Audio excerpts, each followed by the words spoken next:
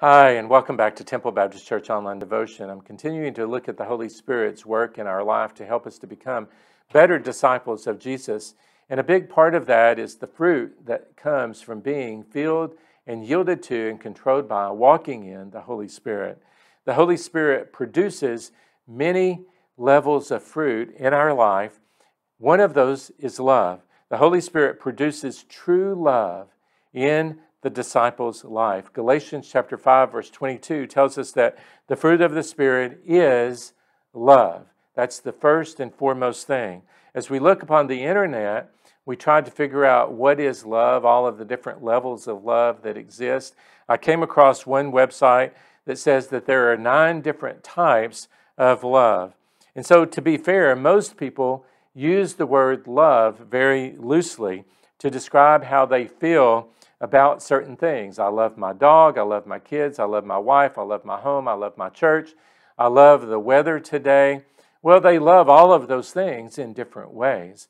Some people might say that they love their job, others might say that they hate their job. But there are different levels of love, just like there may be different levels of hate. Maybe you hate Brussels sprouts. Not me. Um, personally, I like Brussels sprouts. I don't necessarily love Brussels sprouts. And so here, the word love that is used by Paul in this passage, Galatians chapter 5, verse 22, comes from the Greek word agape.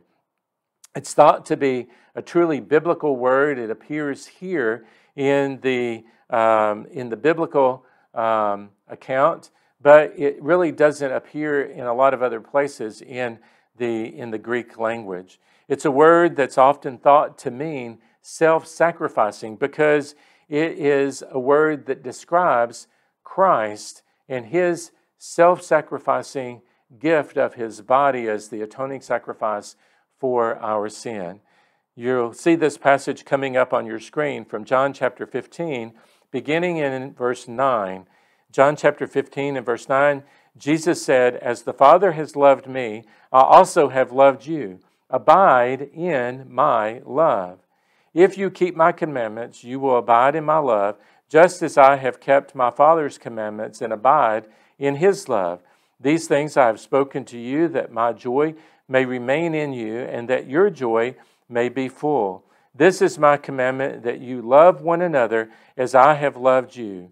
Greater love has no one than this, than to lay down one's life for his friends.